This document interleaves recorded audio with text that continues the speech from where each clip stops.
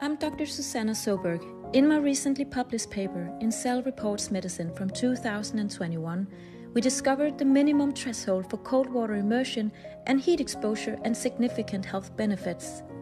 Only 11 minutes cold immersion and 57 minutes of sauna in total per week, not in one session but divided on 2 to 3 days, ideally alternating between the cold immersion and the sauna. During the cold water immersion, noradrenaline and dopamine increase 2.5x within minutes and last for hours. This increases focus, energy, mood, and brown fat activation. We discovered an increase in brown fat activation and people getting warmer and more comfortable in the cold.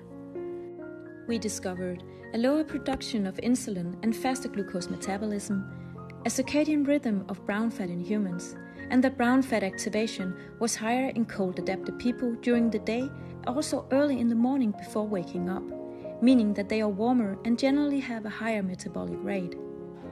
If using heat and cold, I recommend to end on the cold to force the body to activate more brown fat and reheat naturally. This is named the Søberg Principle by Professor Andrew Huberman from Stanford University.